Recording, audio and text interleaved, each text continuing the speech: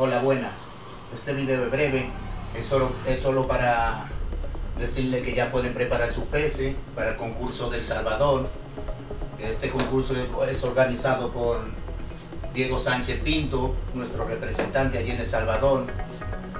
Le, quiero recordar, no manden sus peces en botellas ni en frascos donde los jueces lo puedan descalificar para que luego no se estén quejando o haya queja de que por qué mi pez no salió a concurso. Si mandan un pez en una botella, se descalifica automáticamente. Intenten ponerle un, foco por encima de la pecera para que tengan mayor visibilidad del pez y el vídeo salga con mayor calidad. Bueno, eh, desde aquí un saludo y hasta luego. Como dije, este concurso se realiza en El Salvador con nuestro representante Diego Sánchez Pinto. Hasta luego.